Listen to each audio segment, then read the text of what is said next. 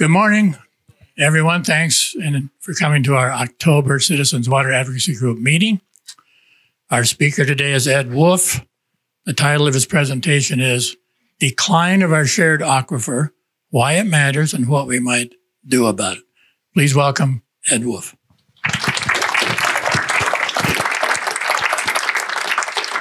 So we'll see how this goes. If each hand can keep track of what the other hand is doing, I might mention briefly how I came to be here.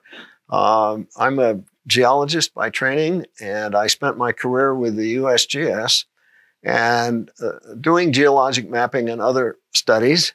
And um, in the course of that, I got acquainted with a lot of northern Arizona, including all the way to the Verde Verde Valley. And when I learned back in 2002 that there was a water, I wasn't a hydrologist. The only liquid that I worked with as a geologist was magma. And I worked with quite a bit of magma erupting, but but it doesn't have much to do with groundwater. And and anyway, uh, because I had a pretty fair geologic background, I went to a a meeting that the Hoyes and some others were at as well. And I thought, well, as a geologist who knows something about the geology of the area, maybe I could contribute to this too. So I joined up and was, along with the Hoyes and others, John Zambrano, who's right there, uh, I was a part of the original board of CWAG. So here is a map of the of the Prescott Active Management Area. The Prescott Active Management Area is one of five uh, active management areas that were uh, defined, designated in the Groundwater Management Act of 1980. And the, the reason was that Arizona wanted federal funding support for the Central Arizona Project, the CAP, which you all know of. And uh, the immediate response, I wasn't in those conversations, by the way. The immediate response apparently was you got to fix your groundwater problem, Arizona, before you're going to get federal support for a pipeline from the Colorado River to Phoenix and Tucson. And, and so these active management areas were designated. And uh, the, there is a officially stated goal for the Prescott Active Management Area, which is to reach what's called safe yield by 2025. 2025 is just a little over five years from now. Uh, and you'll see that we've, we've, we've missed the goal. Safe yield meant that as you grow and use water, that you do not change the volume of groundwater stored in your basin, in your aquifer. So that, that, that was the goal. But it was set as a goal. It wasn't a requirement. And a goal is something that you can say, well, that's a goal. So who cares? And, and that's kind of where we are. I'll, I'll have to say, in fairness, I think it was an impossible goal for this particular active management area. Okay, I'm going to give a talk about groundwater basics for a moment. So this is not a very geologic or hydrologic picture, but I thought it might help some of you who are new to this whole business with terminology. So this is your household sponge, or maybe it's your mother's household sponge, and it's sitting in a, let's say, in a pan of water, and the bottom, whoop, I get coordinated. The bottom part of the sponge is saturated with water. The upper part, the upper part is relatively dry, for all practical purposes, it's dry. If this were really uh, an aquifer system, there would be the, the water comes into the aquifer from precipitation and streams and so on. And there would be there would be water here in what's called the unsaturated zone, but it wouldn't be continuous. It wouldn't fill up all the voids. In the lower part, which is a simulation of an aquifer, every every void, from ones that are too small for you to recognize to these big potholes, uh, is filled is absolutely filled with water. So all of the empty spaces are full of water, and it's called the saturated zone in hydrologic terminology, and it's it's essentially what an aquifer is. And I just wanted to get you sort of introduced to what we're talking about here. This is a cartoon of, of a, a, a, a valley with an aquifer. It's very much like the valley, the, the basin that we live in. So here is a, a, a valley with a river. And uh, the valley is filled with sands and gravels and maybe some lava flows and so on. We can't show all that detail, but it, it's, it contains materials that have a fair amount of void space between grains of sand, gravel, etc. And, and this part below the water table is saturated with water. This basin sits in a mountain valley. So these are older rocks here and here. They could be granite, they could be almost any kind of solid rock. But if it were an, an analog for our area, those would probably be granite, and they the granite does not transmit water well. Works in places if you have your well in granite, if the granite is adequately fractured. And if you get a really long dry period, you may have a spell of, of uh, no water. So, so like the lower part of the sponge, everything from here down in the aquifer, every single pore space has water. It is filled with water. Furthermore, that water is flowing. And in this diagram, it's flowing toward us. Uh, and at this point, the water in the aquifer, the aquifer actually intersects the ground surface. And we have a flowing stream right here because the stream is right at the top of the water table, but it intersects the water table. And so we maintain a year round or perennial river here. That's not the main subject of today's talk, but it is a major issue for, for CWAG with respect to the Verde River. A definition here an aquifer is a body of water saturated rock or sediment, water saturated, that is sufficiently permeable to store or transmit groundwater to wells, springs, or streams. Next slide, Chris, please. So here's a sequence of three slides that illustrates what the effect of a well is on an aquifer system and a river that's flowing nearby. The river or stream is right there. And a brand new well has been put, or a pretty new well has been put into this. Originally, this water table was flat across here, and these arrows all pointed in this direction toward, toward the stream. These arrows portray groundwater exiting to the stream.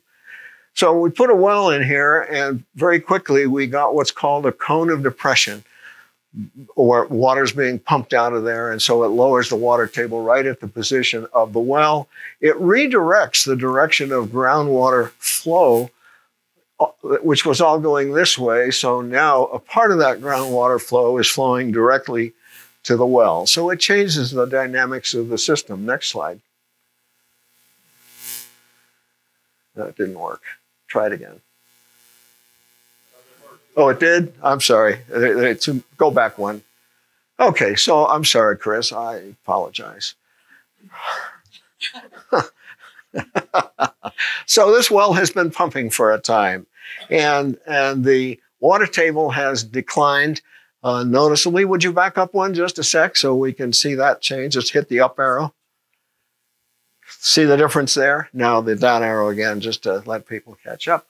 Okay, and and we're actually um, have, we're now draining water from the stream in the direction of the well. Initially, it was just close to the well that, that flow directions were changed.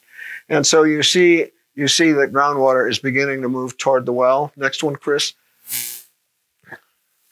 And we've gone a little further, and here, uh, all as a consequence of this groundwater pumping. Don't think of this as one well. Think of this as representing wells in a broader, a broader sense.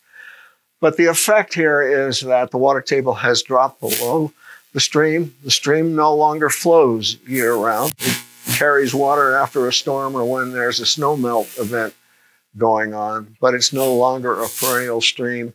And the water table is appreciably lower than it was at the outset. Here in the Prescott Active Management Area, we're not so concerned with flowing streams, uh, but we are concerned with the water table. And, and this is just to try to help you understand that.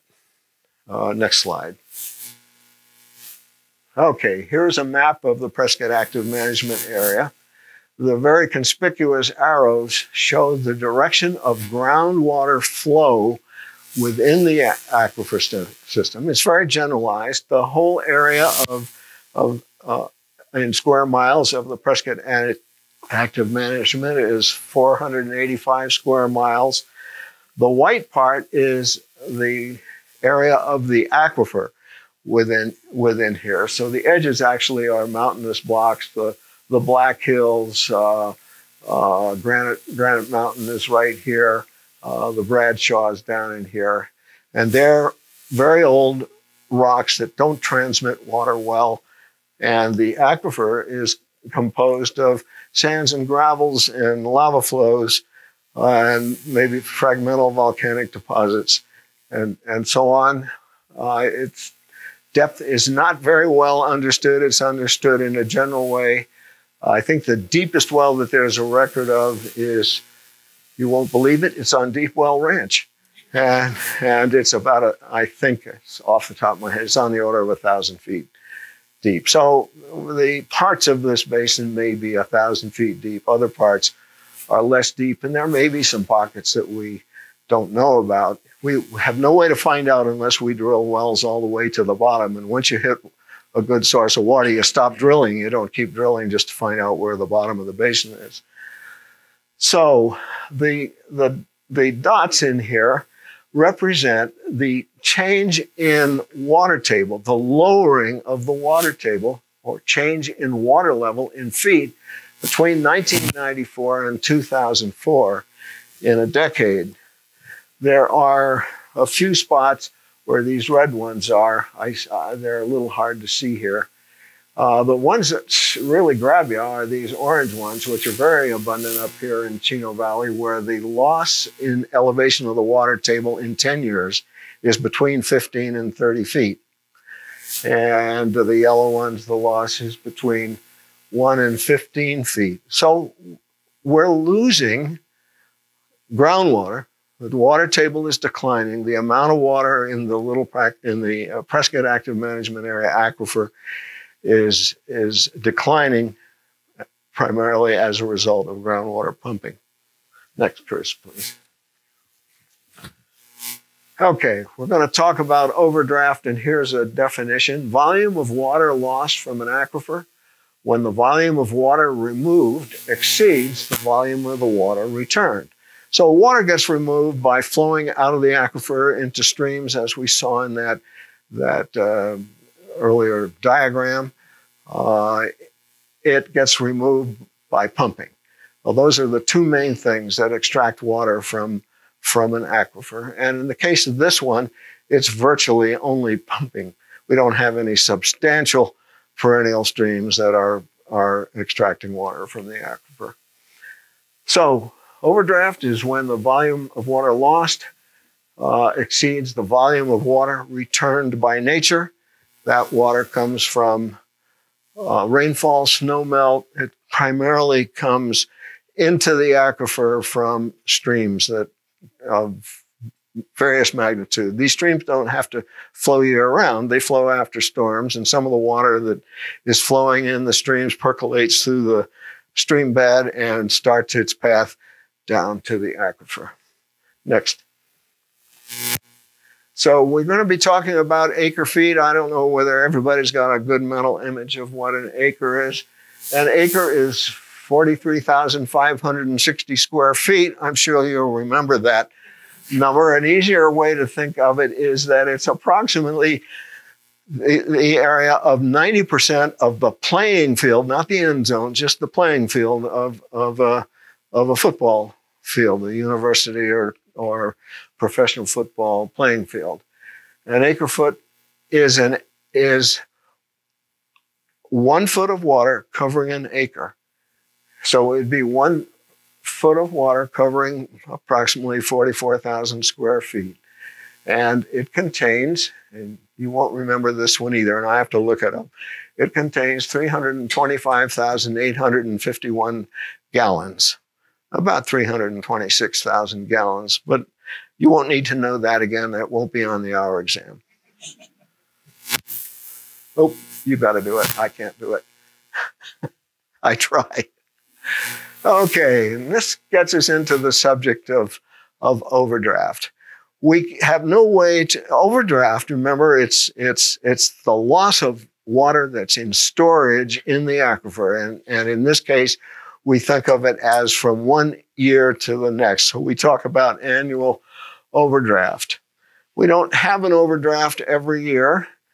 The the blue bars represent years. So this goes from 19, this is from the Department of Water Resources. It goes from 1985 through 2015. The blue lines represent the change in water storage, which was a positive change in years when there was sufficient uh, precipitation uh, to actually gain in the aquifer. The orange bars are represent the years in which the amount of water stored in the aquifer decreased. We pumped out more than was returned to the aquifer. Now you can see the scale on the left is in acre feet. And so um, uh, 2005 was a really good year winter storm wise. Some of you will remember it, I do and and uh, the aquifer actually gained about 16 or 17,000 acre feet of water in that winter. The blue lines in here are mostly represent addition to the aquifer from winter storms. And in general, if we don't have a good winter storm, we're probably going to lose water from the aquifer. Our winter storms are critical. That isn't to say that the ones during the monsoon season don't count, they do. But most of the blue bars represent years with winter storms. This is the this is the deficit.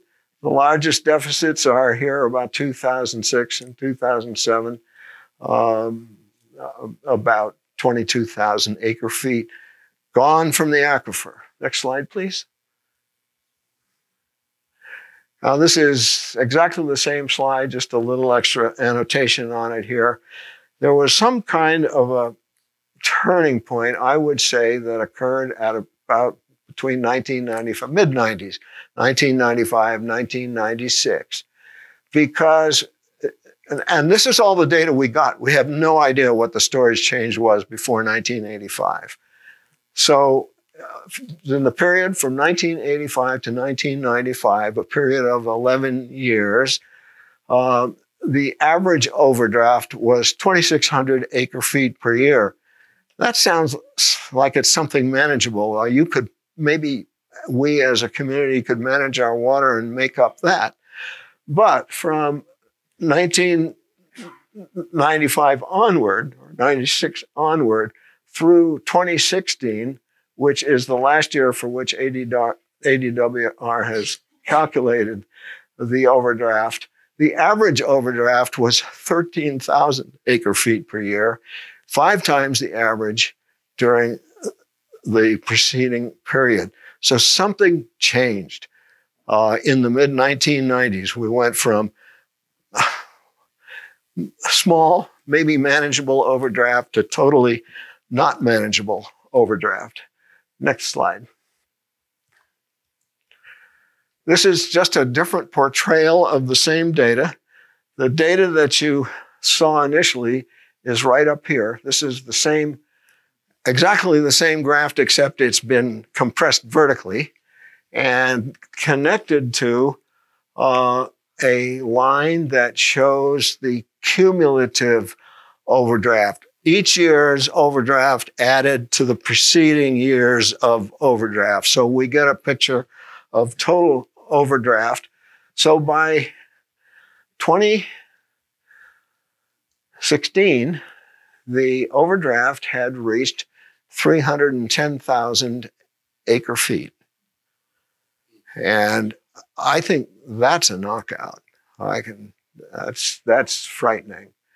Um, so we have these same numbers. It averaged up up up in this part prior to 1995. That's this part of this cumulative curve.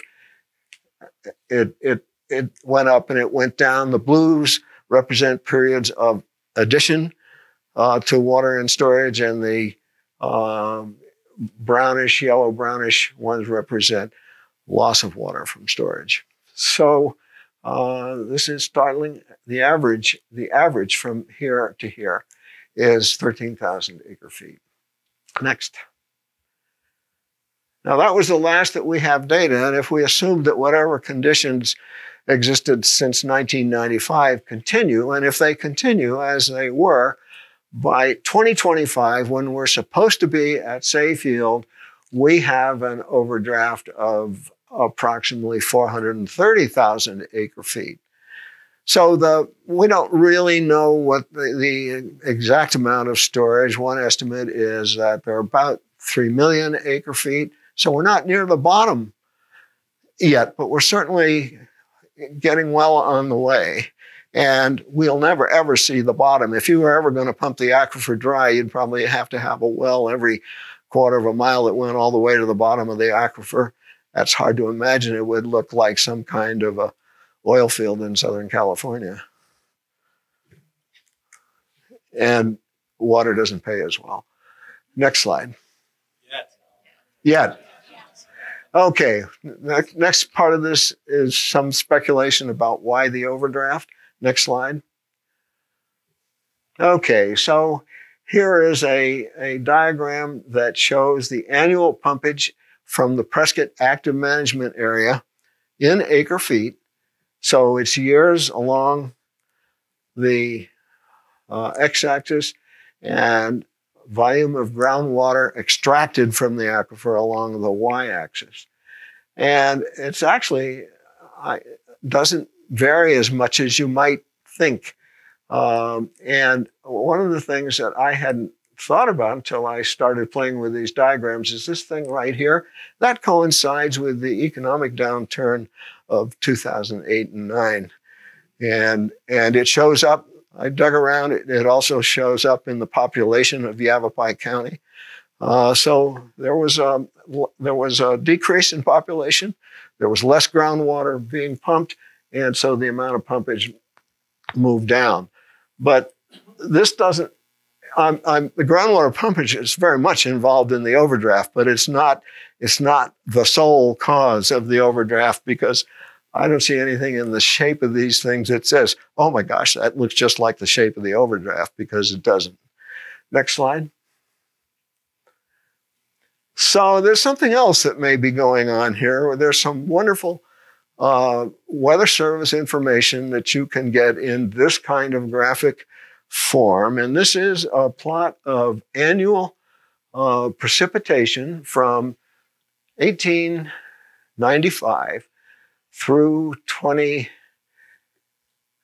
I think it's through as much of 2019 as we've gone. I don't remember. I can't, I, I did this fairly recently. The yellow line through the, so this is, this is, each line is precipitation for a year in Yavapai County.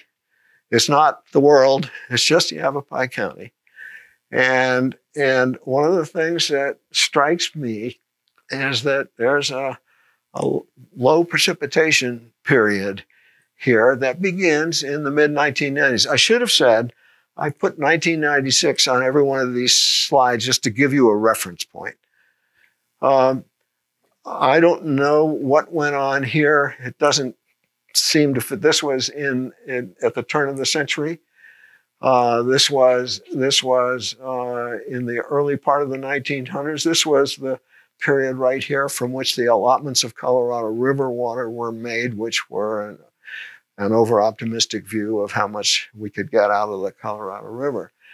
The, the yellow line through the data is a 10 year moving average. So it's simply at, at every point in the data, it takes five measures of value, both to the left and to the right of that data point, and averages them and then draws a line through those averages. So it's just a way of smoothing out the data. And you can see there's a pretty good dip right there.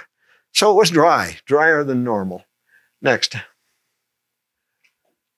This is the one that really got my attention. And, and when we had a talk about uh, uh, the weather and maybe climate change in Arizona, there was a diagram like this. This is, this is average annual temperature, again, from 1895 through 2018.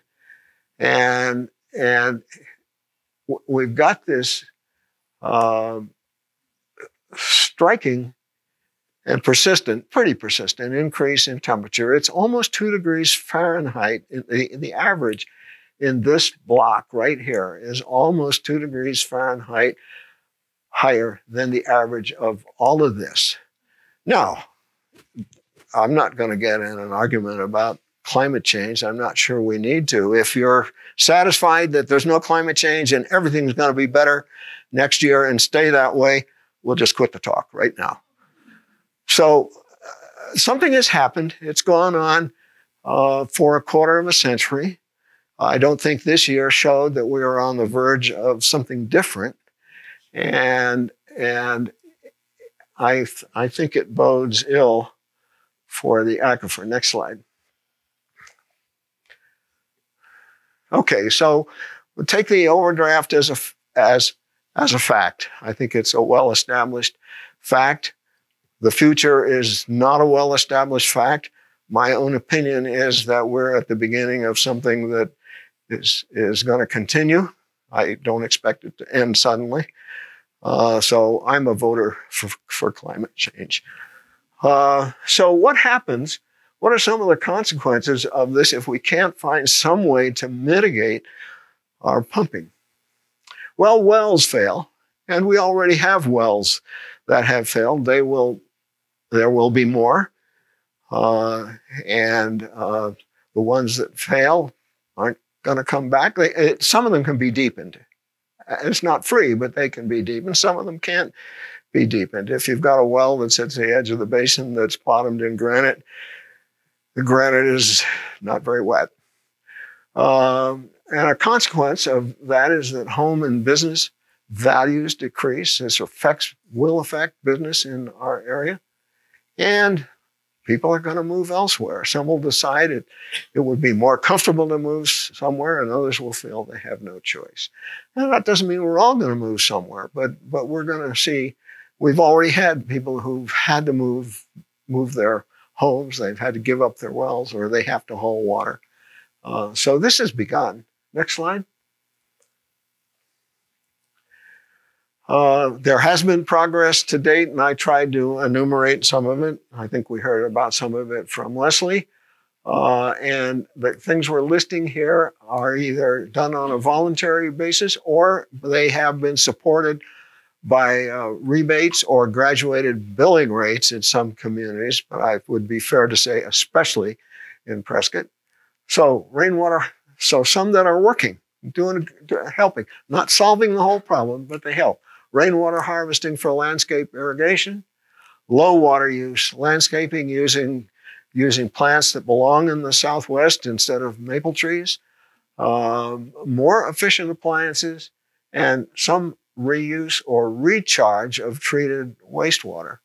And uh, uh, Prescott is, is, does reach, recharge or reuse treated wastewater.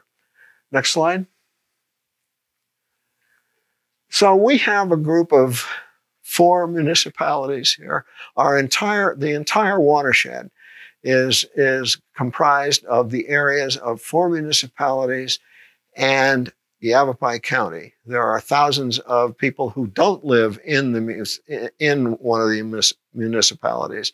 They get their water from individual exempt wells or from a local water company. And, and so there are really four governmental groups that control the hen house here. Town of Chino Valley, Town of Dewey Humboldt, City of Prescott, Town of Prescott Valley, and Yavapai County. It's a very small part of Yavapai County, but Yavapai County represents the people who live outside of the municipalities. Next slide. so this is this is just an attempt to try to find we we ought to be trying to find many ways to solve this problem, but this is one that that we might work, and it would be to form a Prescott Active Management Area Regional Water District, and and what you're seeing, I've just it comes out of my head. It's not meant to be perfect. It's not meant to be complete. It's a it's a first sort of thought for me. This water district would represent the four municipalities plus Yavapai County. It would have to represent business, agriculture, homeowners, ecologic concerns, and objective science. Now, you might think of other groups. Those are the ones that came to my mind immediately. And it would be sort of selling our souls to a group to a group like this. Very likely, the leaders of this would be elected uh, people who would have have a small number of people who who ran this thing and uh, with public support uh, would uh, uh, work to try to get a grasp on this thing. We're not getting a grasp on it. We have a model right now where each municipality and thousands of individual citizens are all independent operators. And we're not going to solve it that way. Um, next slide. And this is the final slide. When you can't get the machine set up, you get to see where you are in the slides. So, so this this is just a, a a thing that talks about some potential local strategies um, for survival. This is local. It doesn't involve directly, excuse me, doesn't devolve the state or the nation in solving our problem. These are things we can do. They can't all be done without some change in law. Um, but these are, are things we could take on ourselves. And again, this is not necessarily an exhaustive or critically reviewed list. So, one is adoption of universal stringent conservation requirements. It's great that we have a, a, a, a city that, that really is working on conservation requirements. But unless we can all work on conservation requirements, we're not going to get there. I don't think we can depend on everybody doing it voluntarily. We got to find a way to um, make it universally attractive across the active management area. Uh, conversion from septic systems to sewer. This would require additional wastewater treatment plants, permits increased volume of, of reclaimed water, uh, and would include, as reasonable, conversion from exempt wells to managed water delivery systems. The next one, stormwater management that supports aquifer recharge. And uh, along with that, we would need to develop strategically placed infiltration and recovery facilities. And finally, in my list, which isn't necessarily complete, but I've tried to keep it things we could think about on a local basis purchase of development rights or, conserva- or conservation easements. Uh, there's one going on in Prescott Valley right now that I've I've I've heard about this and and with respect to uh, open land that's ranch land it's somebody's land. A common sort of thing is you you find a way to for let's say a rancher you find a way to uh, or farmer you find a way to uh, make a con- conservation easement. A common way is you arrange for for that family and their heirs to live on the piece of land in perpetuity. They have to be paid something to do this, um, but they agree they're not going to turn it into a city, and uh, and and and that's a, an agreement. Now, uh, for the most part, these things aren't free, and I don't know how to how to say we would finance them. That's not my not my bag.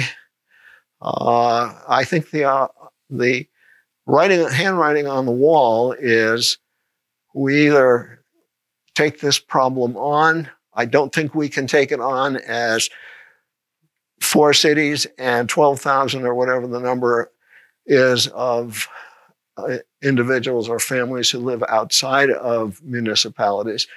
We're not going to get there that way. We have to, we have to, we have to work as a group. Uh, I say it might require legal change. One of the kinds of change, if we talk about um, uh, stormwater management, there are kinds of stormwater management that we can do. There are other forms. If you, we cannot take water, it's against the law for us to take water from an established natural drainage. Once it's in a natural drainage, it's it's water that is already appropriated primarily to the Salt River Project. Uh, and I don't criticize the Salt River projects. They really were in the area first, and that's the way our water law works. Um, but there have to be changes, and and if we we can take water, and we've got an expert on this whole idea sitting right there, Doug. Uh, we can take water that from streets, from rooftops, from parking lots, that kind of thing. Uh, uh, we can capture, treat it, we can return it to the groundwater, or or use it if we can get it clean enough. Anyway, there are there are costs to do this in the wholesale way that it probably will need to be done. We're gonna there's gonna have to be some legal change, and in this particular case, SRP is going to be the main objector. So I guess I'm ready to turn it over to questions. I just think we're not going to be we're not going to be living here a hundred years from now in any case. But our grandchildren, we would like to think our grandchildren or our great grandchildren uh, will be able to live here, and they may not unless we grab this bull by the horns.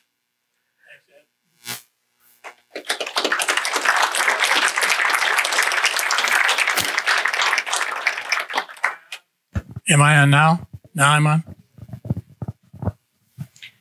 Two questions.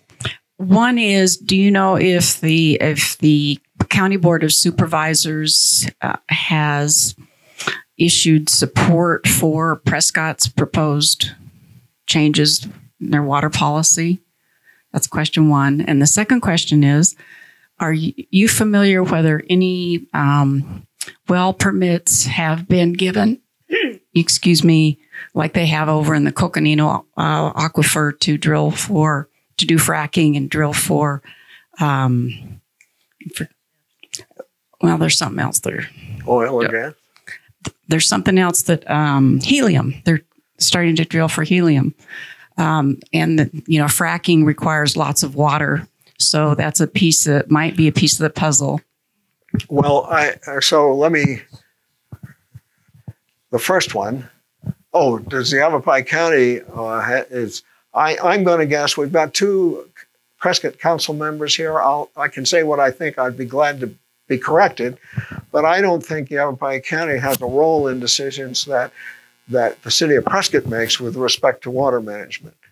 I frequently uh, speak with the supervisors of Yavapai County. Yesterday, I had a conversation with Dave Williams, their community development director. Uh, they have not taken any position on the water policy that Prescott's considering. Okay. You want to talk? Oh, I, have got a second answer for the first question. Let me uh, let me ask Mr. Lamerson here to comment on this whole deal. I would confer with uh, Councilman Goode, uh, concur that uh, we haven't heard anything specific from the county. But I do not think it's a good idea for the city to encourage growth in the county without at least having conversation with the county using our water. Thank you, Jim. And could you repeat your second question? It was about the drilling. Do we know of any Oh, drills for I got it. I or- got it. Thank you for the reminder.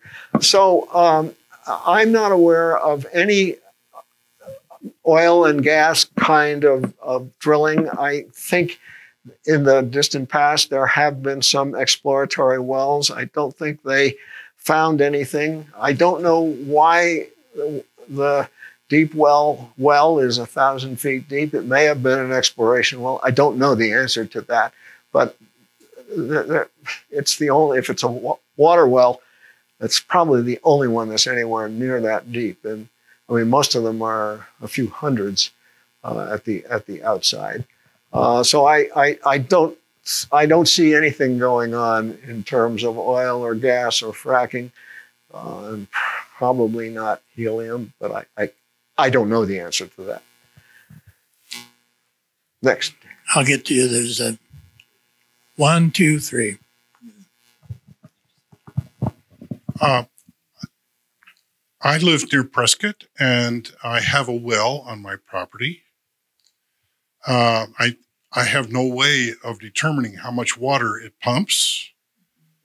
Um, can you speak a little bit about the exempt wells that, that exist in the, the region? I'll, I'll tell you what I know. I, I don't know the number. I should know the number, but it's thousands. It's not about 12,000. Um, it's, I don't think it requires much more than a permit from the Department of Water Resources. There is a, uh, a statement of legal maximum amount of pumping is 35 gallons a minute. If I remember the, uh, I think that comes to about 56 acre feet per year. I don't know where anybody on a two acre piece of land would put 56 acre feet of water. So, so it's uh, it seems to me is it's it's it's a bit of a nonsense restriction. I think other than that, they are ungoverned. Uh, So, so I'm gathering you, you don't think that's part of the uh, outflow issue, the overdraft. oh, it absolutely is. It's it's it's removing water from the aquifer, and we've got thousands of wells removing water from the aquifer at at rates that are uh, far smaller than that 56 acre feet per year. I don't know what you pump is probably not even an acre foot, but there are many, many, many of these uh, exempt wells, and they're a part of the problem. Yeah, Nancy Steele, and again with Friends of the Verde River, and thank you, Ed, for for proposing this solution. It's it's excellent.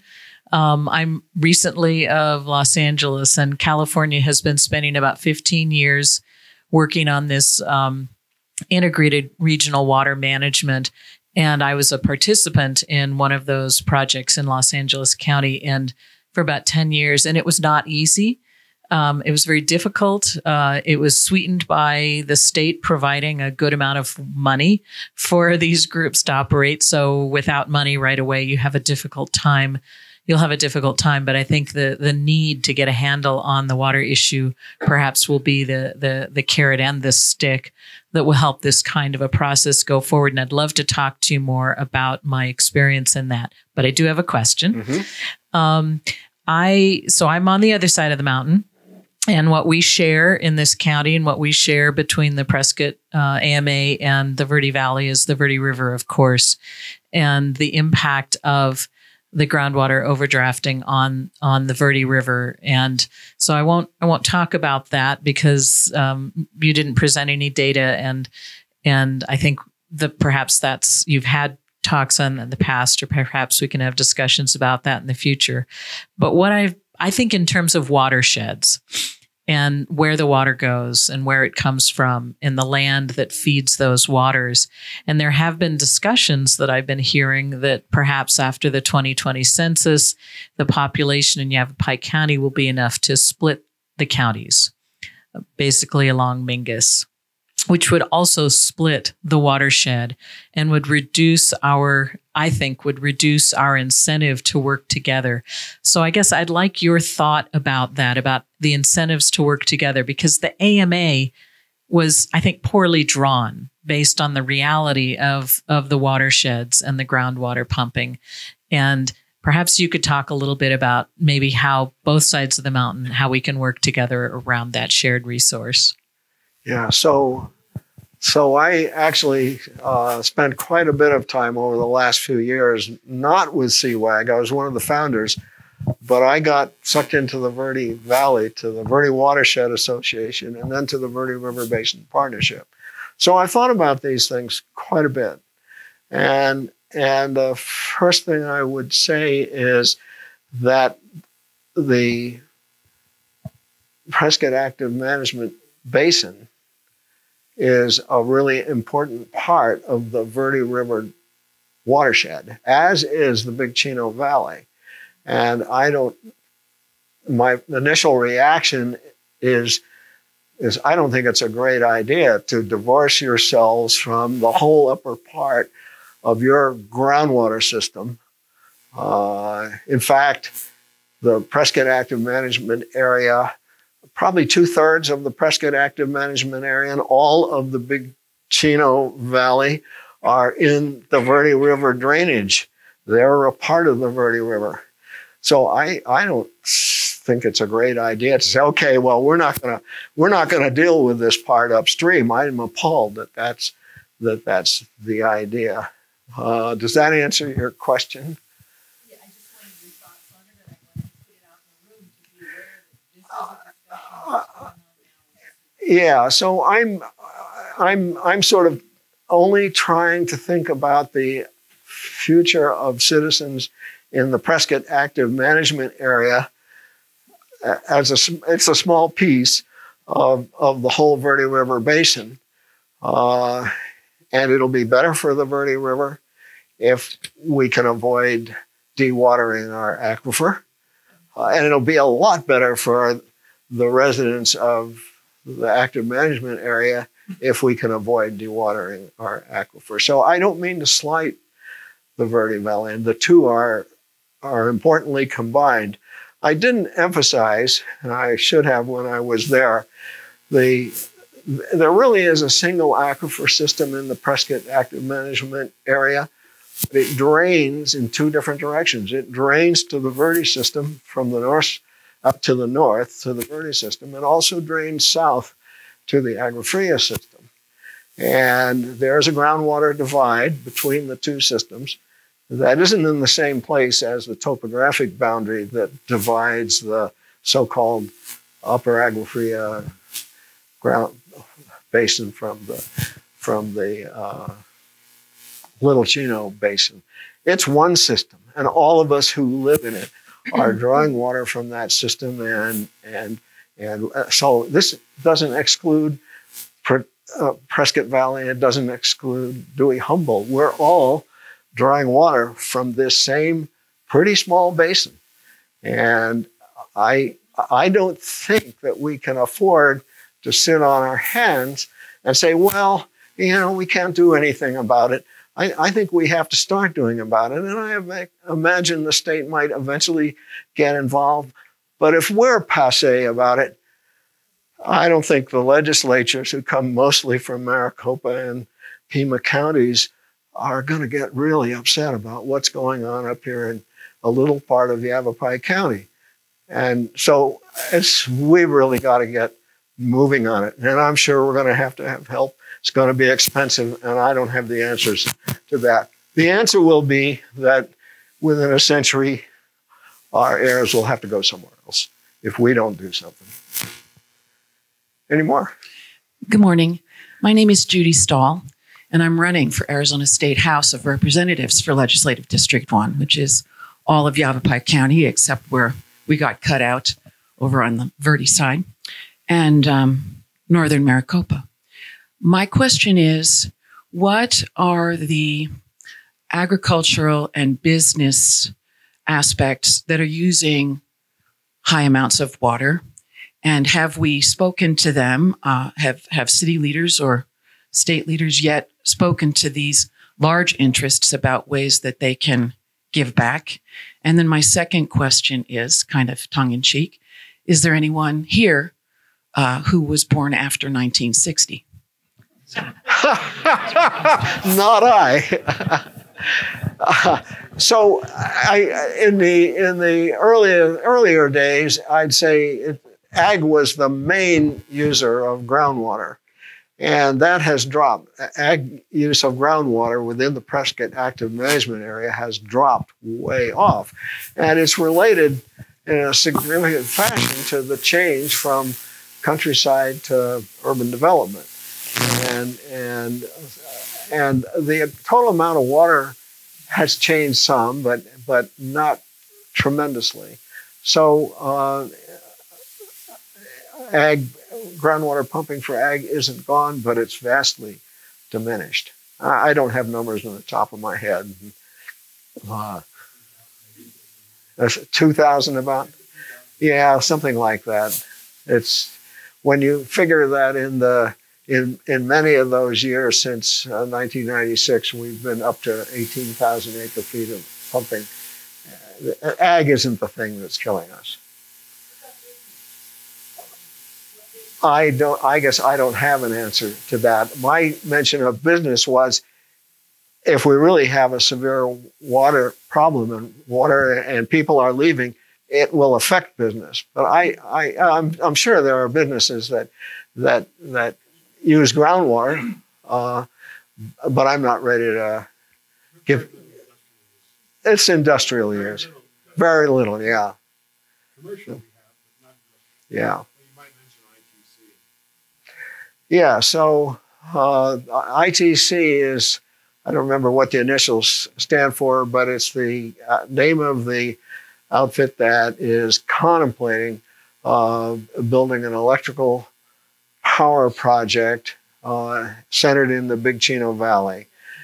And, and the idea is to have reservoirs in uh, some hills pretty far up the Big Chino Valley and off on the northeast side of, of Big Chino Valley uh, to fill the upper two of those reservoirs with water pumped from the Big Chino Valley and, and to have uh, an underground uh, pipeline that allows water to be spilled from the upper reservoir to the lower reservoir, driving electrical generators en route. It will use water from the Big Chino Valley. The biggest use is the initial fill, and I'm a little, I haven't refreshed my memory. 27,000. Okay, thank you. Acre feet on the initial, on the uh, on, on the initial fill. 27,000 acre feet on the initial fill. That's a one-time event, and subsequently water will evaporate and from those things and probably seep into the ground. And est- the estimate that I've heard is something on the order of 1,000 or 1,200 acre feet per year to um, maintain the water level in these two um, reservoirs. Uh, the, the people, the corporation that's leading the charge. This this then will generate electricity that will go into a regional electric grid. It may not. Well, yeah, but but that's that's not really so germane to the water issue. I mean, they're drinking our water. Is that what we're going to say?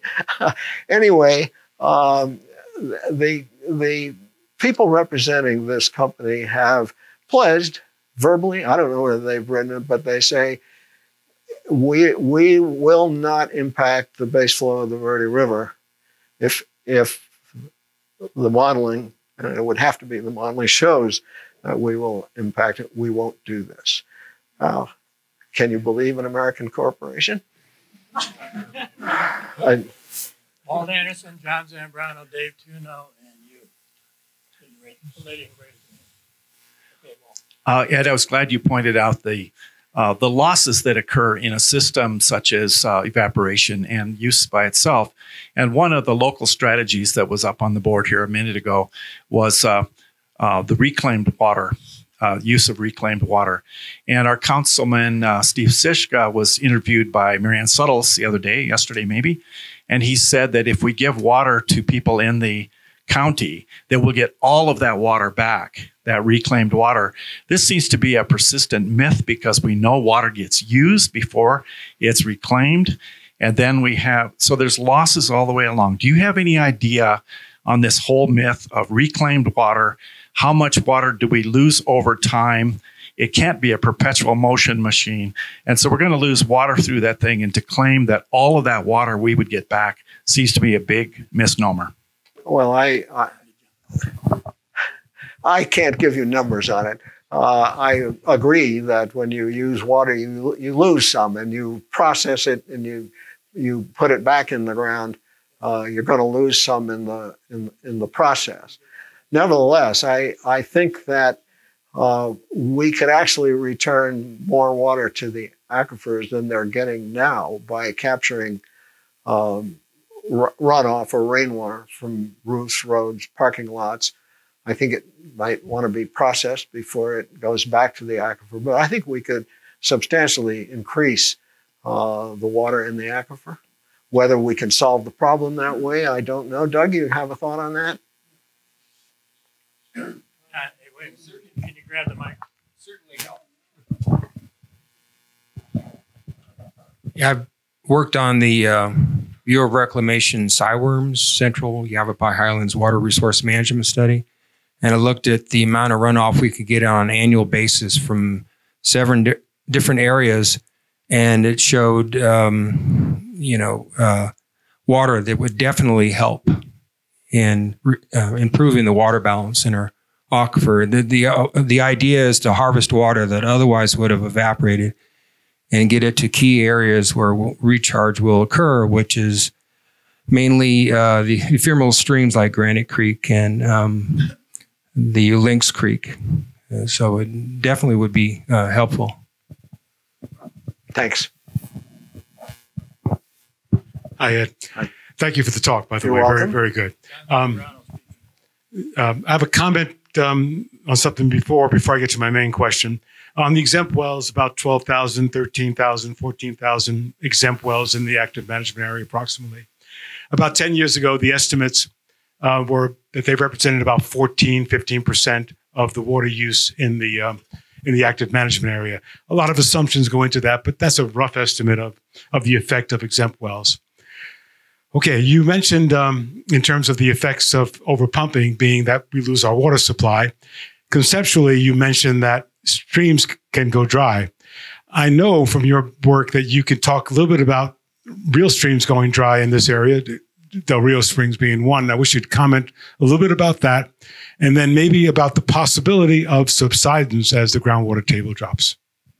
So let me take them in reverse order uh, because I have to say I don't know, I don't have information that tells me how serious a threat subsidence in the Prescott Active Management area really is.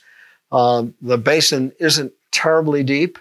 It isn't terribly big. I don't know whether there's a subsidence occurs because the groundwater between the grains in the aquifer supports it. You draw it out, you, you get some compression of loss of space uh, where that water used to be, uh, and and that leads in the Phoenix area and other other places to uh, some fairly substantial ground cracking, subsidence of the ground surface, with with cracking of, of, of breaks in the ground surface. I don't know whether that's really a serious problem here. I don't know that we've ever seen. Maybe you know. I don't. I have never heard of an instance of ground breaking uh, as a consequence of groundwater pumping.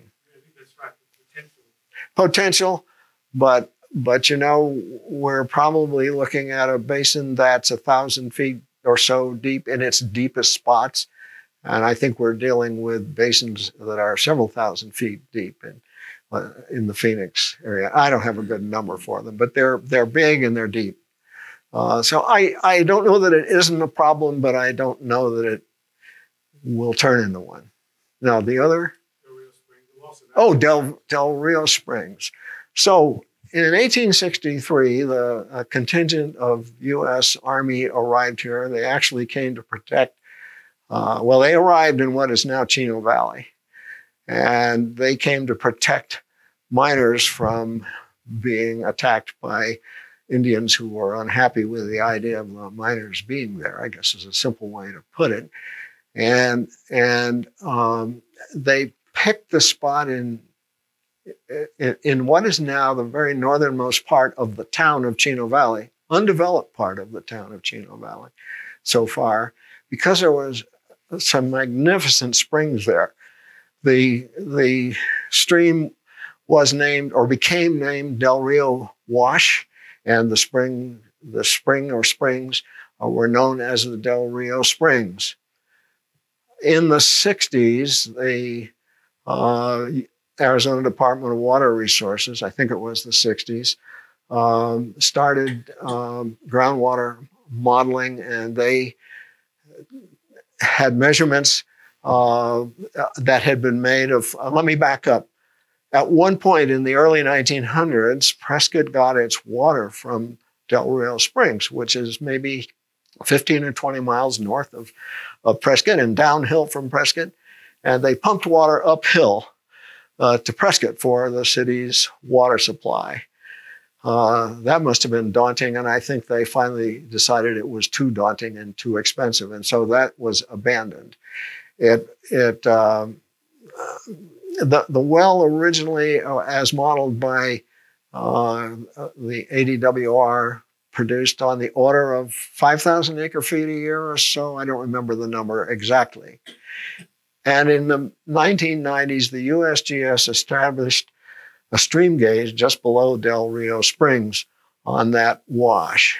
The, the winter, I'm sorry, the summer flows are less than one cubic foot per second. They're very small. ADWR many years ago predicted that perennial flow from Del Rio Springs would be gone by 2025. I've looked at that repeatedly over the years, and I think they're right on track because the slow, the, the, the dry season flow, the flows when there's evapotranspiration going on, are way down below one cubic foot per second there, if I remember correctly. And, and they've just gone steadily downward, heading, heading towards zero. What that means is that, that there will be a part of the year when there's no flow in, in the in Del Rio Wash. And uh, but when it rains, there will be flow. I mean, we face the same thing with the Verde River at the Paulden Gauge we are heading toward a time, unless we find a different way to operate, we're heading toward a time when the low flows, the, the flows maybe right before monsoon season or in this year, uh, essentially almost all the year, are, are so low that, that we are going to have a dry river for some part of, of every year. It'll show up in a measured place uh, down downstream at uh, the name of the bridge. Perkinsville, thank you. I'm at that age where I have to find those names. Uh, and I, I think it's, it's an assured thing unless we find some better way to manage our groundwater. I think that um, the development of the Big Chino Water Ranch, if it ever occurs, is going to be devastating for the upper Verde River. And it, that affects the Verde Valley because it's a part of the flow uh, that makes the river flow in the Verde Valley. Did, is that good enough on Del Rio Springs? Uh, yeah, over here. Uh, a couple of things, if, if you don't mind. Yeah. Uh, the first has to do with these exempt wells. I think you said there's 12,000 of them. Uh, somebody did. Something guessed. like yeah, that. that's the right sort Within the. PRAMA. Yeah. Okay, now, if those people, if those wells didn't exist, those people would simply be hooked up to a municipal water system and their water would come from a different well, not their own. But isn't it the water use would presumably be the same? So what difference does it make whether they're on a private well, well or not? I think what you're saying is that we can't ever do anything about water use. The water use will only go up; it'll never change. no, it's not what I'm saying at all. Well, I'm you just are. saying- You're saying No, no, no, no, no. See, a person who has a well, can pump 56 acre feet a year. but do they? No, of course not. Okay, they use about the same amount as if they were hooked up to the city Correct. water system. Very likely. Okay, so the really the, the real problem would be that they're not they have a septic system not hooked up to the sewer, and therefore the water can't be reclaimed. Yes. That's the real issue. Yes. Okay. So it's not the It's exempt an- well, it's, it's the an- fact that the septic system. Yes. That, Okay. That's certainly an issue. Okay. So a second uh, issue was this um, the recharging of water that you collect from the surface, whether it's rooftops and streets and whatnot. Would it make more sense once you've got it in your hand to keep it on the surface and use it for whatever reasons you would use water rather than shove it back Yeah, underground? If, if if we could do that, we're also concerned, though. I am at least about. I'd like to see the Verde River continue to flow, and so one of the issues is is how do we how do we protect, if not enhance, that groundwater system? if you're using that water that you've collected on the surface for a use that you would otherwise pump water out of the aquifer for, then it's this. I I think You that's a very reasonable line to consider.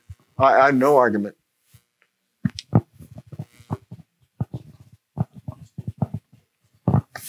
My name is Joni Greenberg, and my question is, um, you on your suggestions of what to do, the conservation. I have a friend who who's lived here for forty years, and she's always conserved water. And then she finds out that the city has reallocated um, how much water residents get and taken the water that's been saved and given it to development. So there, that's a disincentive for conservation. And how are we going to overcome that? We can't keep building houses and then tell people to save water. I think that's pretty disingenuous. I, I I don't have any argument with you, but I think we have to evolve beyond the present system. And you're talking about the present system. And I'm suggesting that there has to be a way where all of us, our representatives, can collaborate on, on managing all aspects of water, water use and water recovery. Uh, and I agree what you say is true, but it sounds as if you're making the assumption, the assumption that no matter what you do, somebody's going to try hard and then realize they've been screwed and we've built a thousand more new homes. And, and uh, that mode of operation has got to change or our grandchildren are going to have to find another place to live. Hi, I'm uh, Stanley Vorse. I have a, uh, uh, a home in uh, Chino Valley, and, Could, could you my- put your hand up? I can't tell. Oh, great. Okay. Okay. And I'm I'm concerned uh, that my well that I have, and I, I you know my own septic system. If I understand it correctly, the town of Chino Valley has sold uh, water rights th- that is being there's water being pumped out of the Little Chino aquifer to Prescott to be used for their water supply. Now that water that's used in that manner is coming out of my aquifer. Let's let's call it that.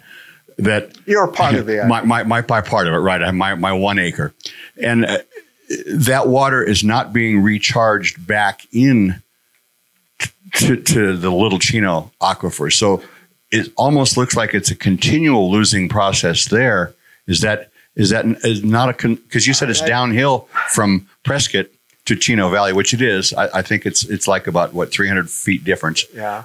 Would that not be a better consideration to take effluent from Prescott and recharge the Little Chino aquifer? Would that not be a Well, a, a saleable item? It's the answer is a little more complicated, and there are, are certainly arguments, and CWAG has made some pointed out this very dis- discrepancy because water we return water to the aquifer near near the Prescott Airport. It's a long way, and it's probably at best a hundred year trip to get down to where the wells, the city's wells are, and so we're building a water mound here and a water hole there. Um, but uh, this is why I say I think we've got to design a system that works better in every possible respect. Uh, we ought to be returning water closer to it. Now, let me say this, and uh, I may get corrected, uh, but I'll, I'll offer it at the risk of not being 100% correct. Uh, it's my understanding that uh, Prescott definitely returns treated wastewater to the aquifer in through irrigation. I'm sorry, infiltration basins near the airport, and so they are returning water to the aquifer. You could return water to the aquifer for long-term storage, but there also is short-term storage where you pump it the equivalent out again the next year. And so it's not really representing a, a net gain to the aquifer. But the technology is there, the system works. When I talk about a system like that, I'm talking with the idea, and it's maybe pie in the sky, but but actually, if not recharge basins, which are what we have near the airport, injection wells, have them strategically located. And, and the biggest problem we have in, in uh, undertaking that kind of a system is that it's against the law. And the law has to do with water rights. And SRP is the big gun on the water rights. Now, SRP isn't bad, it really isn't. But it has a commitment made in the early 1900s to deliver water in Maricopa County, and it has to meet that obligation. And I I think that if we could capture water, some of which might have been in washes or would go into washes, and inject it into the groundwater, that water comes out of the groundwater too. And and I think SRP is very leery of anybody who proposes such a thing, and I don't blame them. And one of the things I think we would have to come to some sort of a meeting of the minds and say, you know, I think this will keep water in the system. It doesn't have to be a negative for SRP in the long run. Uh, but I think SRP is very cautious and, and they are afraid of getting taken advantage of, probably with perfectly good reason. So I'm talking about open minded people representing our communities and our businesses and so on. How are we going to fix this problem without goring somebody else's cow. yeah. Uh, let's Chris. Chris. Uh, first of all, thank you for the meeting today. Um, I'm a little need some clarification on something. I overheard that no matter where we live around here, and we have our water supplies, that if Phoenix doesn't have their quota met, like their lakes and everything down there that they are they are it's okay for them to take water from us up here. I've never heard that. I heard that. Didn't we hear that?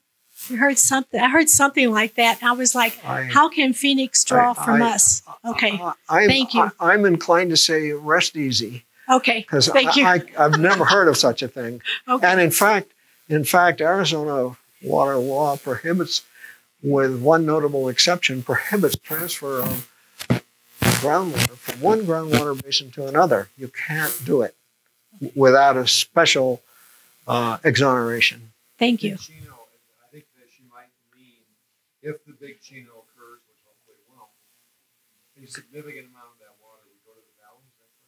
I've never heard that. I've heard that. that. That before. water's going to Prescott and Prescott Valley. The water that we pump, that Prescott and Prescott Valley would pump from the Big Chino Water Ranch. Hang on, we got some people who lined up here to. Okay. I, I, yes, sir. Hi, I'm David Dome. I'm actually running for Prescott Valley City Council uh, next year as well. Um, I was wondering if there's any any statewide initiatives at this point and how those might impact us. Well, the the uh, state is beginning the process of assembling its fifth water management plans for the active management areas, and they will work on a plan for this active management area. I'll have to say that they haven't completely finished the fourth management plan for at least one active management area. From what I've read, that's the case. Uh, and and I'm, I'm sure they're going to address uh, these ideas. I, I don't know. I, I don't know what they're going to suggest. I think they're very much aware that we have a serious problem. Uh, and I really I can't predict the future. more than that. But it's it's just my personal idea that at least at the outset we can't expect and count on and do nothing because we count on the state to come in and bail us out. I think we're going to have to at least start it ourselves. And I, as I prepared this talk, I often thought of the uh, little phrase, uh, the gods help those who help themselves. And I, I, I don't know that we can do it all, but I, if, if we don't get the ball rolling in in, in, in a system that has potential to be useful, I, I, I don't think we're going to be at the top of somebody's list for, for help. We're a tiny part of the state. I, what's the ratio of Prescott Active Management legislators to legislators from Maricopa and Pima counties? It must be vanishingly small.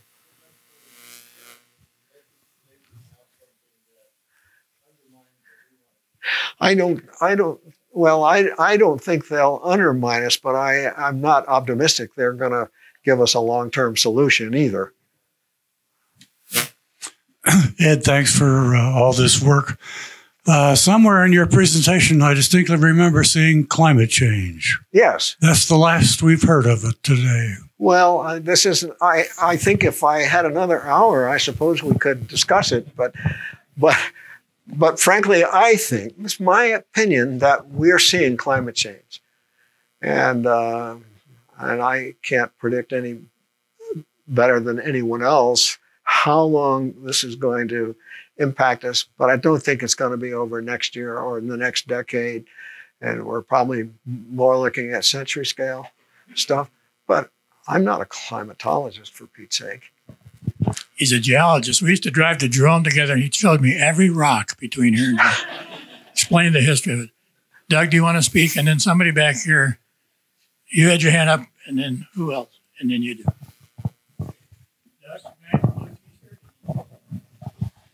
I forgot to mention that uh, only about 2% of our precipitation recharges our aquifer, 98% evapotranspires, and the amount that flows on the surface out of the Prescott AMA is relatively insignificant. It occurs when you have these big flood years like 2005, where it might reach past uh, Perkinsville Road on uh, Granite Creek and then keep flowing, but that's uh, very rare.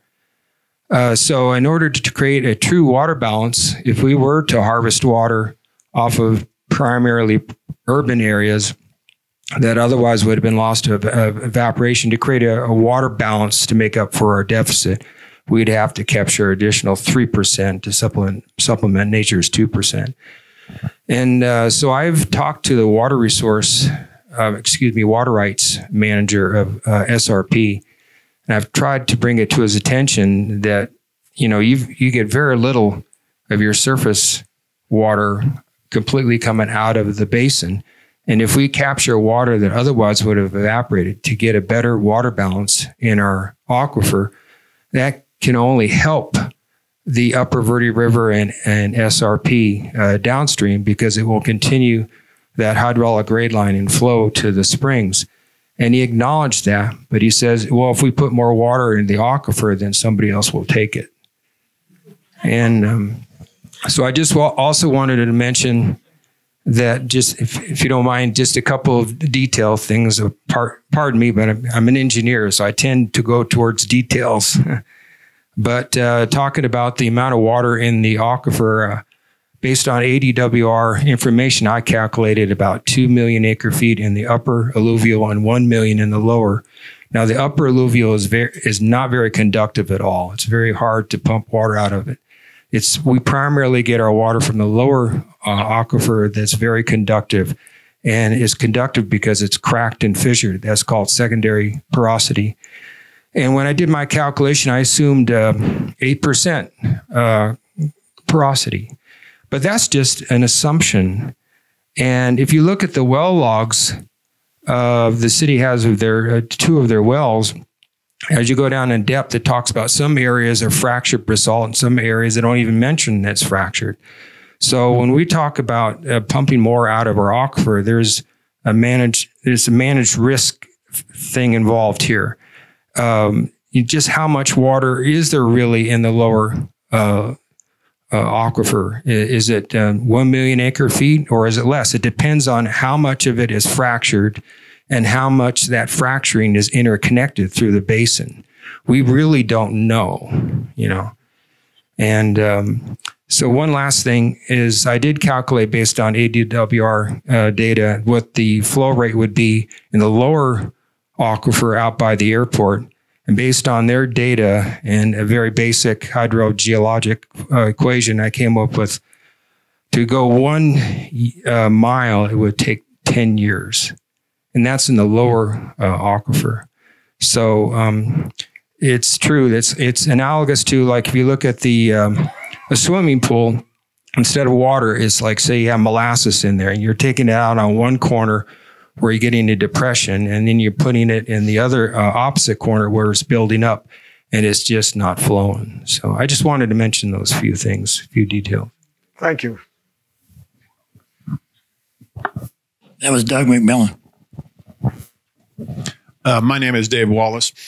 Um, my question to you related to one of your slides. I was recently in attendance at a uh, community meeting over in Pronghorn Ranch in which the officials from the town of Prescott came and made certain representations related to the depletion. Uh, however, they quantified their their usage in inches rather than acre feet. Okay, so um, you talked about an annual depletion rate of about twenty five thousand acre feet, maybe thirty thousand acre feet. Um, they talked to they framed it No, in our, our, our, the biggest numbers on our overdraft are about 18,000. Okay. Well, the- okay. The 18 average. average of eighteen thousand thir- feet. Okay. 13,000. Um, it was portrayed there, and I and I only say this for, because of the perception that comes about in people trying to be educated about the thing is that they equated that only in a matter of inches, and therefore, if I if I view it in terms of inches, you know, it was basically there's more than hundred years uh, worth of water if I only look at a half an inch a year, or a quarter inch, or one inch a year. And, you know, people felt a great deal of comfort in saying, wow, if I'm only, I'm not losing 18,000 acre feet, I'm only losing in half an inch. okay. And so it kind of goes to as, you know, the, the, big dilemma that I see represented both publicly is, is, you know, what it, what is, you know, how can this accurately be depicted? You know, what the true impact is. Inches are very, very small. Acre feet are large. So um, the, one of the first slides that I showed was uh, early slides was a map of the AMA with a bunch of colored dots. The orange dots, which were uh, abundant, particularly in the northern part of AMA, represented a decline in 10 years of the water table of 15 to 30, no, 15 to 30, 15 to 30 feet, I think. Um, and I don't know how you, that's a lot of inches. 30 feet is 360 inches. I'm trying to, you know, just as a citizen, like most people here, I'm just trying to decipher who's telling me. Well, I- I- picture. The town of Prescott says, you're only talking a fraction of an inch, and all you guys are 65 years old, so you don't have to worry. Well, I mean, those, oh, no, I'm just, yeah. So those water levels are one of the things that you actually can measure. And they are measured in, in monitoring wells and, and they're measured either by the Department of Water Resources or the USGS. And it's very straightforward. It's uh, the distance between one chair leg and another looks like about 24 inches. You can measure it. And nobody's going to argue. Nobody's going to say, oh, it's really only an inch. I mean, I just, I don't understand. I don't understand what you, what, it's only a part of an inch. I don't know what they're talking about. Um, I, It's just that that's how they're representing the water usage. well, You know, no, they're not saying, hey, you know, I got well, I, I guess our purpose, our, one of our hopes is to educate the public so those things get challenged and cleared. Hi, Ed Robert from Chino Valley, Uh-huh. and thanks for doing this today. My question is most of the data seems to be come, coming from the ADWR, so they're aware of the overdraft, obviously.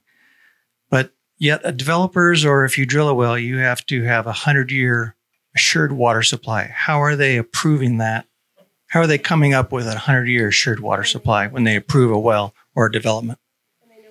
I guess I don't tell. I don't have an answer. I mean, they they are using ADWR data, I'm sure, and um, and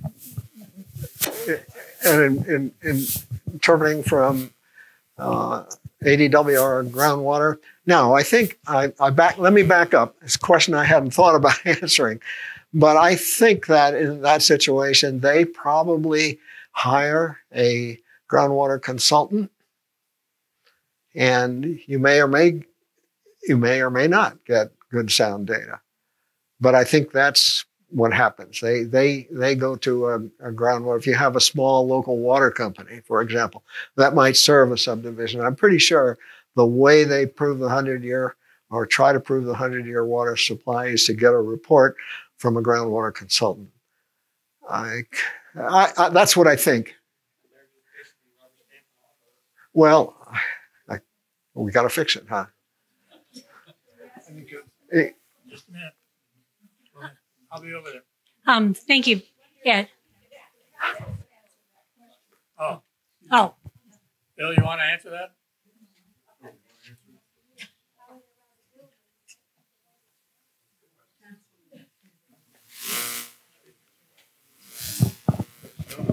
The question was, is it, how do they figure a hundred year groundwater supply for a developer? Do you know that? The state. And approval to build and so on. How do they actually do that? It's in, I can tell you that it's in law, how they do it. It's about, uh, it's all set up to be done according to regulations that the state has set up. It sounds weird, but I mean, they have a way of, of determining, yes, Mr. Developer, you have proven, according to our regulations, that you have 100 feet. And typically these days, it's uh, alternative water, which is what has been reclaimed, measured, and they can take a shot at it.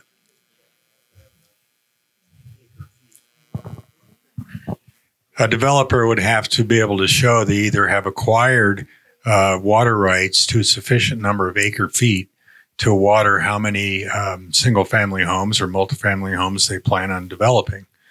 So that's one of the contentious areas that originally the city of Prescott determined that each individual single family home would use approximately 25 acre feet per year. And then they added a, um, it was 0.25 acre feet per year plus a estimated commercial component that um, a single family home occupant would use, which would be 0.1.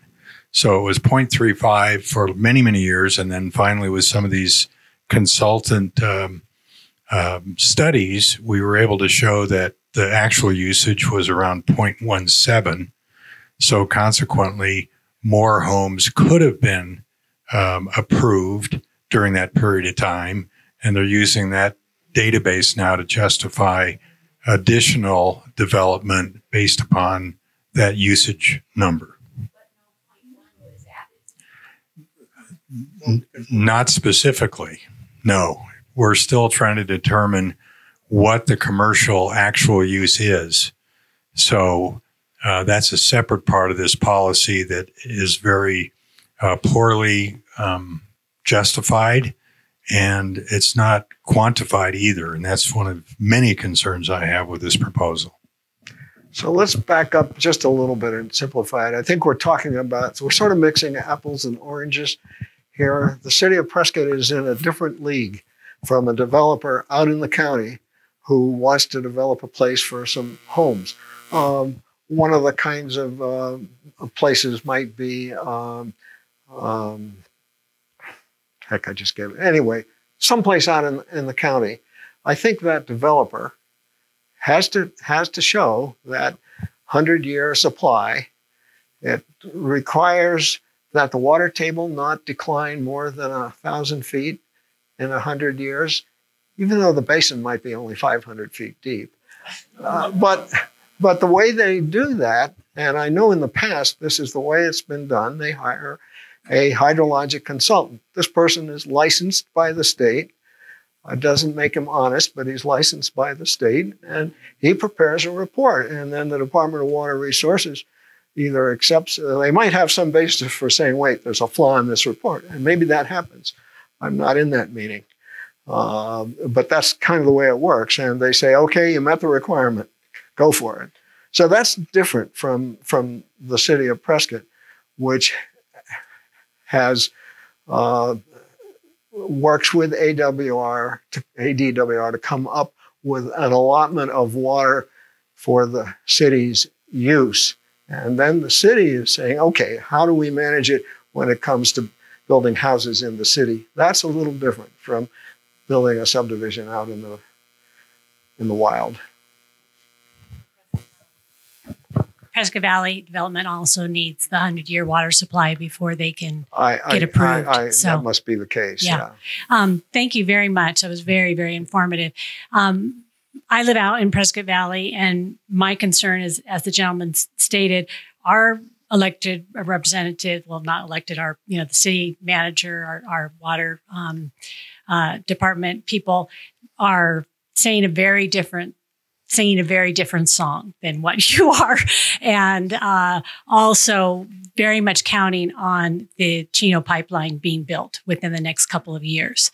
So um, how can we since the, the most important thing that i saw that you pointed to up there is that we need to have some type of a uh, joining of the municipalities in this area to solve this problem how can we do that I mean, what is the best thing that we can do um, as citizens to encourage that to happen? I know Phil Goode is here, but are there any elected officials from Prescott Valley here? Are there, hope to be, are there any elected officials from Chino Valley here? So we've got one council person here, two, well, I think Jim left. Jim left. So, you know, we've got one one council person here from Prescott. So how do we get this message out to the people? I mean, we can all be concerned, but unless we run for office and get elected, we can't do anything about it. So how do we make this Yeah, that's a- happen? That's a very good question. And I don't think I am qualified to answer how we'll make it happen. But we have to get the problem into the news to begin with. And I think at this point, that's kind of CWAG's role to make public awareness. I mean, we can't tell the various city councils what to do. We're not in that position.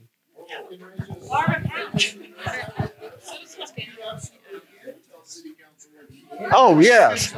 Yes. But uh,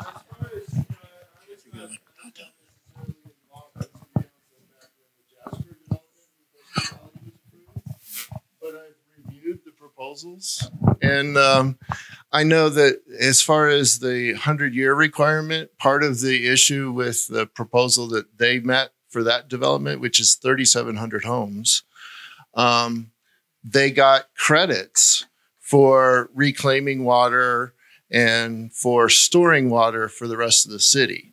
So I don't know that they actually met the 100 year requirement or what the requirement was, but I know that the part of their approval process was that they got some credits for some of the things that they were doing. Don't forget to join CWAG if you uh, want to get the word out in PV. We we try to talk to PV. It's not easy. What?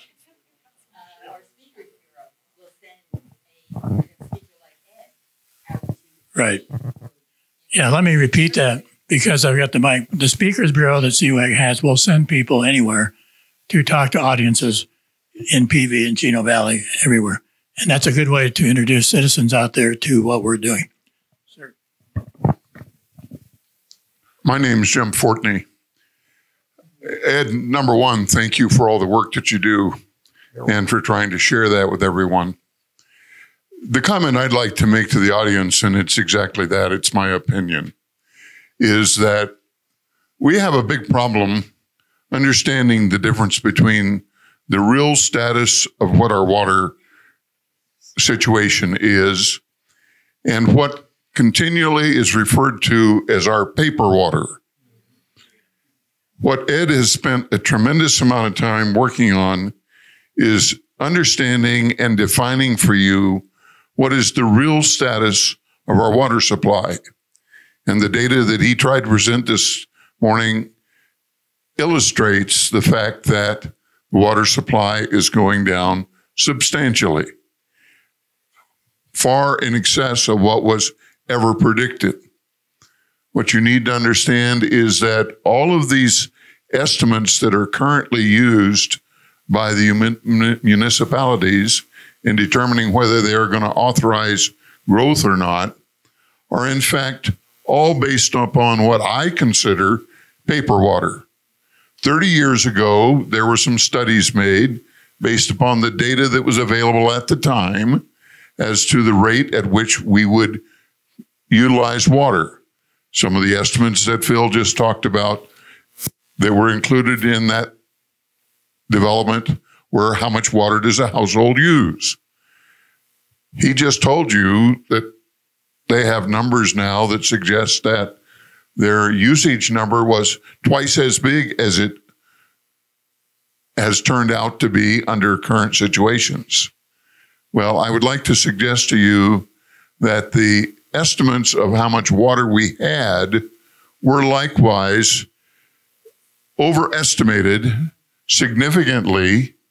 And the fact that we were going to use water at the rate that we have, and that's what Ed has tried to explain, was never expected. So when you listen to these arguments from the various organizations, try and keep in your mind clear the difference between what's really happening with our water and what the paper water environment where analysis is done as to whether we're going to have water 100 years from now or not is based upon old and obsolete data and probably models that need to be updated.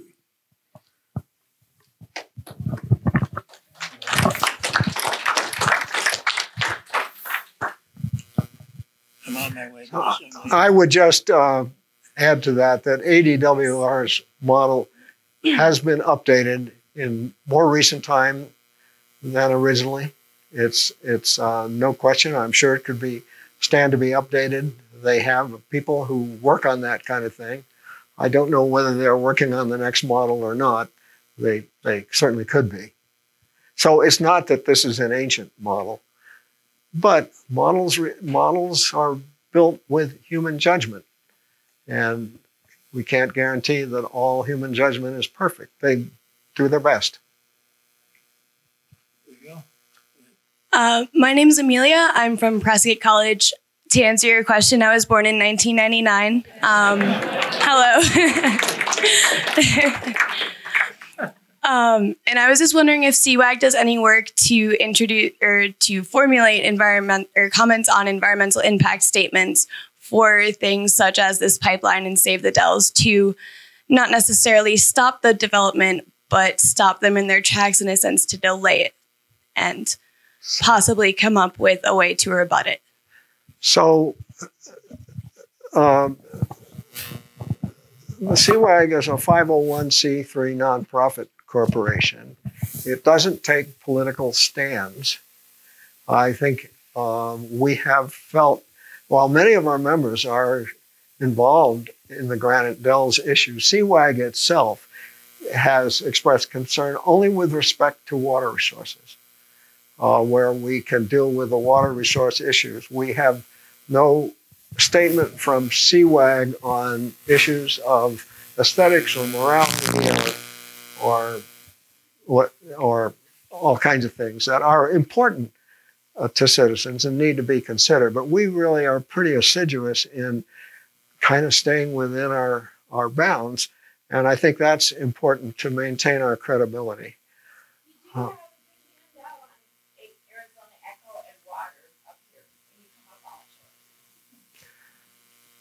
so I, I, we're, we're, we're not political. We don't expect CWAG to be represented in a city council as CWAG.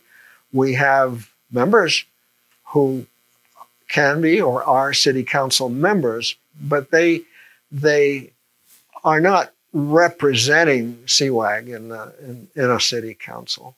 I don't know whether I'm getting to the answers to your question or not, but we're pretty careful to do what a 501c3 is expected to do, and that is we, we address issues and try to explain them objectively, uh, but we try to avoid being on political bandwagons.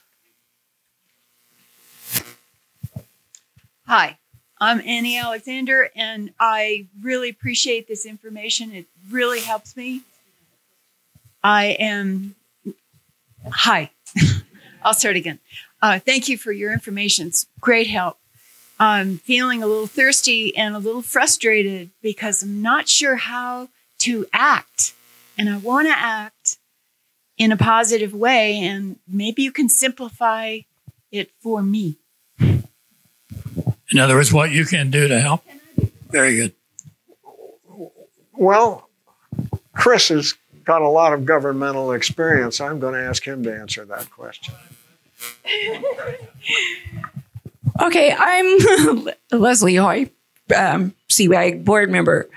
I, I already had asked for the uh, microphone because citizen action is really important. Citizen involvement, citizens showing up at the meetings. We send out a calendar once a week with all the water meetings in the area. We do try to send members to every meeting so at least one person is there. It's so important for the public to be at these meetings. And then for our most active members, and if you guys, if anyone here isn't on that list and wants to be see me afterwards, but I do send a report out usually every Sunday where I share all those notes from all those meetings. Um, I just can't say enough how important it is if you can't do anything else to um, at least show up because that's how CWAG has um, influenced the current water policy talks. Um, we're the ones who pointed out, wait a minute, you can't do this with the groundwater allowance. CWAG is who sent ADWR a letter and said, could you please issue a written opinion on this? So right now, now the city has apparently, I heard, is seeking a written opinion. If if citizens aren't there, well, we all know what happens. I don't want to cast aspersions on politicians because we have a wonderful one here, Phil Goode. Thank you, Phil. Um, and I talked to somebody is here from the Chino Valley Planning and Zoning Commission who seems like an upstanding person trying to do Robert here. So we we we do have people and they need our support. Without our support, it's so hard for our politicians who are good and are principled, like Councilman Lamerson, for instance, um, who's trying now to um, say he's opposed to certain aspects of the proposed water po- policy. If those people don't have support, if they don't have us at the meetings, it just makes it so much harder for them. So writing letters, sending emails, attending, being in a group, we need to have group action. Um, we do have a few Prescott Valley members. If we only had more, maybe we could do more in Prescott Valley. It's such a thankless thing to go to a Prescott Valley council meeting. Be, there's no public comment until everything has already been decided. Um, so I know how how discouraging that is. But if we're ever going to get anything done, we got to get together and we just got to act. That's all there is to it. I'm going to, we only have a couple minutes left. I'm going to grab the mic and say something to you as well. Um, I used to be a director for the state of Nebraska. I met with people all over the United States for various reasons, and even in Australia. Everybody at every level of government. And citizen, I was really fascinated by citizens trying to be influential because personally, I had never gone to a council meeting, never paid the slightest bit of attention. The mayor of Great Falls, Montana was my employee. I had to let him go. And uh, I never went to a council meeting or anything. So when I started to see citizens, I was the guy behind the microphone, you know, with the big state car out there coming up and talking. And I thought, wow, look at this. And the people who made the difference were informed, like we're trying to do with you, let you know how this water game works. Persistent, like Les. They show up. They actually know what we're talking about, what Phil's talking about, what's happening. And that is, those are the people who get closer and closer and have an influence. CWAG is an advocacy group, persistent persuasion. We want to be there. We'd like to have some influence on the water decisions that are made by showing up, not just to say hi, but to know what's happening because we come to these meetings. Okay? That's how it really works. So, We're on it. I think we have 30 seconds. I think I'll just say, hey, why don't we adjourn and come on up talk to Ed if you'd like to, and we'll see you next month.